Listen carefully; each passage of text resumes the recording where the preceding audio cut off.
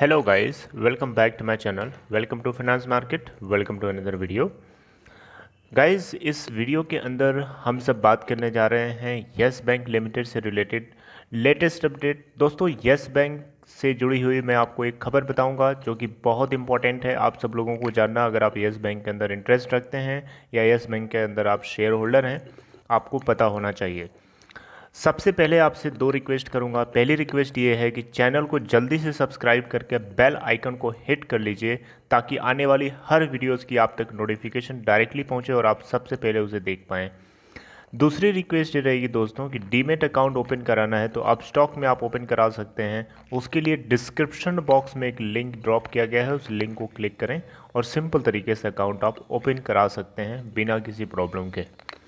अब बात करते हैं दोस्तों अपने टॉपिक की Yes Bank Limited Yes Bank Limited से रिलेटेड एक बहुत बड़ी खबर निकल के आई है दोस्तों, कल 21 तारीख को फ्राइडे के दिन। तो सबसे पहले तो मैं आप लोगों के सामने फ्राइडे के दिन के कारोबार की स्थिति को शेयर करना चाहूँगा और जानने की कोशिश करेंगे कि किस तरीके की स्थिति रही है फ्राइडे वाले दिन। है ना? तो आइए देखते हैं। फ्राइडे वाले दिन की ओपनिंग होती है दोस्तों 16.00 से। उससे पहले वाले दिन ये क्लोज होता है 15.75 पे। 16.00 पे ओपन होने के बाद 15.30 का लो बनाता है और 16.10 का हाई बनाता है। दोस्तों लोअर सर्किट लगा था 15.00 का और अपर सर्किट लगा था 16.50 का। और ये क्लोज हुआ है 15.55 पे एन के ऊपर जो कि 0.20 पॉइंट डाउन है अपने लास्ट क्लोजिंग प्राइस के रिस्पेक्ट में यानी माइनस वन परसेंट यानी 1.27 परसेंट डाउन है अपने लास्ट क्लोजिंग प्राइस के रिस्पेक्ट में। अब हम टोटल वॉल्यूम की बात करें तो फ्राइडे वाले दिन 14 करोड़ 62 लाख 22,743 यानी 146.2 मिलियन इतनी क्वांटिटीज़ ट्रेड हुई हैं इतनी क्वांटिटी ये इतना ह्यूज वॉल्यूम ट्रेड हुआ है आप देख सकते हैं। 52 वीक लो है दोस्तों 5.65 का और 52 वीक हाई है 87.30 का। दोस्तों मार्केट कैपिटलाइजेशन की बात करेंगे तो 38,960.38 करोड़ है। फेस वैल्यू अगर आप देखें तो 2.00 है। बीटा अगर आप चेक करेंगे तो नेगेटिव है, माइनस में है 0.17 इंडस्ट्री का पी वैल्यूएशन अगर आप देखेंगे तो 25.69 है। डिलीवरी परसेंट की अगर हम बात करें दोस्तों तो एनएससी के ऊपर 38.48 परसेंट की सिक्योरिटी वाइज डिलीवरी परसेंट उठाई गई है। वही अगर आप डिलीवरी अगर आप बीएससी में देखेंगे तो 46.95 परसेंट है, अप्रॉक्सीमेट 47 परसेंट है। इसका मतलब जानते हैं आप? इसका मतलब ये होता है कि यहाँ पे जो टोटल वॉल्यूम आपको जो दिख रहा है, उस टोटल वॉल्यूम का उतना परसेंट जितना परसेंट मैंने आपको बताया, जैसे कि एनएससी के ऊपर या बीएससी के ऊपर 47 परसेंट के आसपास है तो इस टोटल वॉल्यूम का 47 परसेंट जब निकालेंगे तो जो भी आपके पास फिगर आएगा, उतनी क्वांटिटीज़ लोगों ने खरीद करके अपने डीमेट अकाउंट में स्टोर कर लिया है। अब ये हो सकता है कि वो लॉन्ग टर्म के लिए ख़रीद रहे हों या शॉर्ट टर्म के लिए हो it's all up to them. अब बात करते हैं दोस्तों यहाँ पे रिटर्न परसेंटेज की। तो यस बैंक ने एक हफ़्ते के अंदर जो रिटर्न परसेंट शो किया है, वो है, प्लस में है 8.73 परसेंट। एक महीने के अंदर 5.56 परसेंट का रिटर्न शो किया है। तीन महीने के अंदर 43.18 परसेंट नेगेटिव रिटर्न है। सिक्स मंथ में minus fifty five point four five percent है और एक साल का अगर देखें तो seventy six point one nine percent है नेगेटिव में।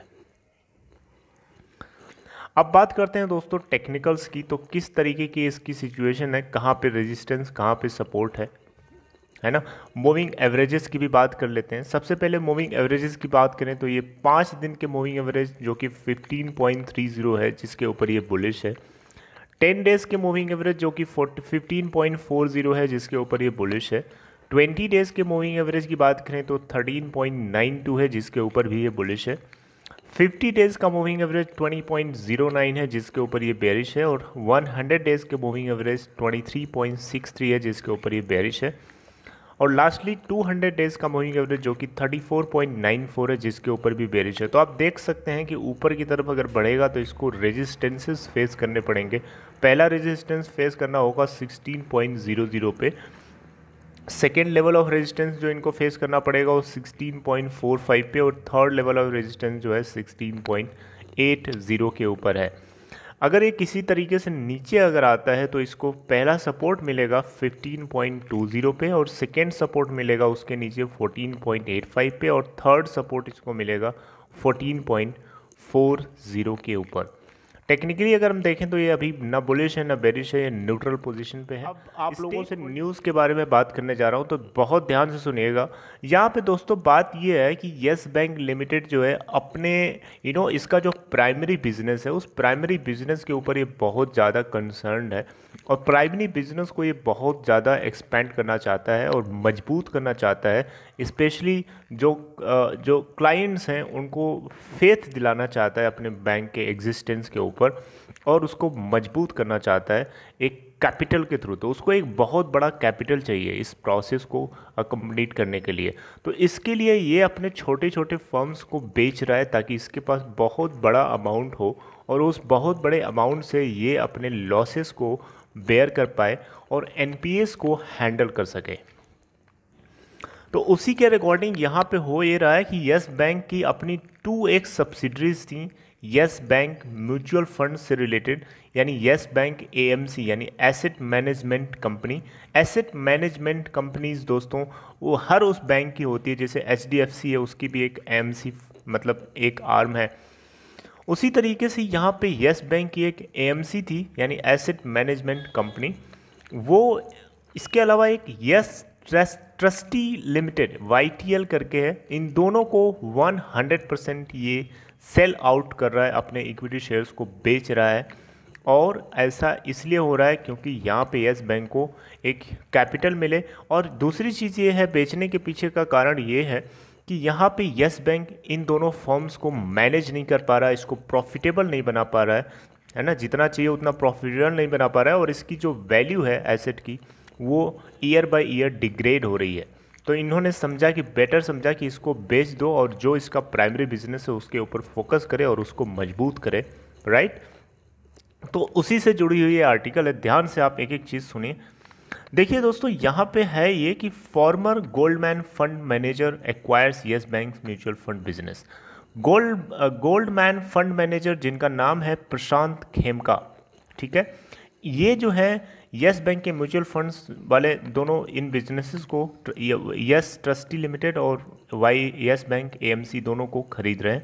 दोनों के इक्विटी शेयर्स 100 परसेंट इन्हीं को बेचा जा रहा है। आप देख सकते हैं यहाँ पे फॉर्मर गोल्डमैन सैक्स फंड मैनेजर प्रशांत खेमका। दोस्तों, प्रशांत खेमका, आपको पता होना चाहिए White Oak Investment Management Limited ये इन्हीं की कंपनी है, इनके अंदर, इसके अंदर 99.99 परसेंट की स्टेक ही होल्ड करते हैं। जी हाँ White Oak Investment Management Limited इसके अंदर प्रशांत खेमका जी का 99.99 परसेंट स्टेक है और यहाँ पे प्रशांत खेमका जी का 99.99 परसेंट स्टेक है तो ऑब्वियसली आप समझ सकते हैं कि 90 यहाँ पे 99 परसेंट स्टेक जो है जीपीएल के अंदर White Oak Investment Management Limited hold करता है। तो आप एक एक चीज़ ध्यान से सुनें, क्योंकि मैं चीज़ें इधर उधर बोल जाऊँगा तो बेटर होगा कि एक एक चीज़ें आपको समझाऊँ। ठीक है स्टार्टिंग से। Okay We hereby inform the stock exchanges that the bank on August 21st, 2020 executed a definitive agreement for the sale of 100% of equity shareholder of Yes Asset Management Limited and Yes Trustee Limited, both wholly owned subsidiaries to GPL Finance and Investment Limited.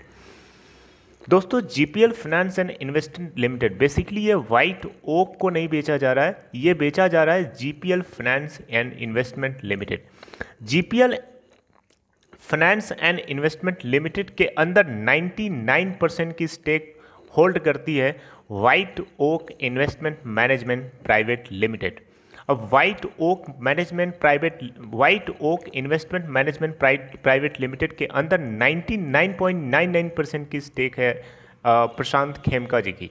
आपको ध्यान से बात समझ में आ रही है? I hope कि आपको समझ में आ रही है। मैं ये कहना चाह रहा हूँ कि 99 परसेंट स्टेक जो है जीपीएल फाइनेंस के अंदर White Oak Investment Management Private Limited hold करता है। और White Oak Investment Management Private Limited के अंदर 99.99 परसेंट की स्टेक प्रशांत खेमका जी की है। तो आप एक तरीके से कह सकते हैं कि प्रशांत खेमका जी के पास ही सब कुछ, यही बेनिफिशियल हैं, यही बेनिफिशरीज हैं। आगे देखते हैं Khemka founded his boutique investment management ये 2017 के अंदर बनाई गई थी इसका आ, मतलब इसको बनाया गया था okay before setting up his own shop he was the chief investment officer and lead portfolio manager of G S India equity at Goldman Sachs Asset Management from 2007 to 2017 and Global Emerging Market Equity from 2013 to 2017.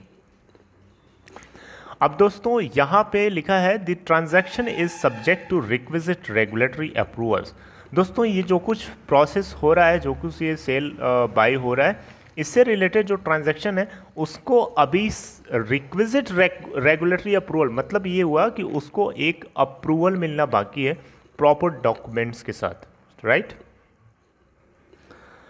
Financial details वो not disclose और ये कितने में बेचा जा रहा है, ये सब तो चीज़ें अभी तक डिस्क्लोज नहीं हुई हैं। आगे कुछ होगा तो आपको बताया जाएगा। यहाँ पे बैंक्स का कहना है कि म्यूचुअल फंड बिज़नेस से जो 30 रेवेन्यू क्रिएट हुआ था फ़िज़िकल ईयर 2020 के अंदर, वो मात्र 33 लाख रुपए था 33 lakh rupees Yes Bank AMC is the asset management company of Yes mutual fund and Yes Trustee is the trustee of mutual fund ये दोस्तों आपको पता होना चाहिए। और एक चीज़ और है, यहाँ पे वाई मतलब यस बैंक एएमसी यानी वाई ए एम सी की जो एसेट वैल्यू है अंडर मैनेजमेंट वो मात्र 50 करोड़ की रह गई है। कहाँ 2000 करोड़ हुआ करती थी और कहाँ ये 50 करोड़ की बची है। तो एक देख सकते हैं कि वैल्यू इसकी डेप्रिशिएट हो रही है और इसी डेप्रिसिएशन की वजह से यहाँ पे यस बैंक ने इस तरीके का डिसीज़न लिया है ताकि वो अपने कॉन्सन मतलब अपने बिज़नेस पे, अपने मेन बिज़नेस के ऊपर वो कॉन्सनट्रेट कर सके और उसको बेहतर बना सके स्ट्रॉन्ग बना सके फेथफुल बना सके और ये एक बढ़िया बैंक था, एक टॉप क्लास का बैंक था और ये डिग्रेड क्यों हुआ, वो आपको अच्छे से मैं एक अलग से सेपरेट वीडियो के अंदर ज़रूर बताऊँगा। So this is all about this video. I hope you liked it. If you have to ask any question or if you want to suggest your idea regarding this let me know in comment section. If you haven't subscribed my channel please do so and press the bell icon nearby that so that you will be notified every time when i upload new videos. And take care guys. See you in my next video. Goodbye